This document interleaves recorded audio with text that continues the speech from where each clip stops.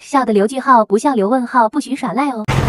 你是老板吗？对，我是老板。我这个电动车总是嘎吱嘎吱响，你给我看一下。行，你在这等我一下，我试下车啊。好，师傅，不好意思，我买了包烟，您需要修车吧？车呢？你是老板啊？那刚刚有个人说他是老板，把电动车都给我骑跑了。好，老范，那个人呢是我一个朋友，平时就爱开玩笑。回头我打个电话，让他把车骑过来啊。啊，没事。那你赶紧打电话让他骑回来。别慌，我这电话呢？哎，你带电话了吗？哎，我带了。那那我用一下。喂，电动车你骑，我说电动车你骑，听好不好？我过去试试啊。啊，电动车你骑吧，哎，骑那么远干？不是我那个密码还没告诉你怎么打吗？我的密码，哎，你怎么还跑了？哎，修车啊，哥们儿，还来这招？你们三个人一伙的吧？啊，什么一伙的？你给我撒开！刚刚你们两个人冒充老板，把我的电动车和我的手机都给我骗走了。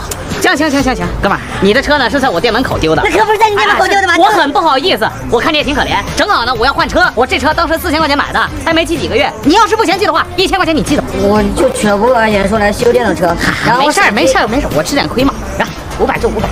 哎，这小子好大的胆子呀！光天化日的偷我的电动车，谁偷你车了？我刚刚找他买的，这谁卖给你的？谁卖给你的啊？这真不是我偷的，那那你说怎么办啊？那就是死要不死了啊！死了！师傅，你要修车吗？修修修！装装。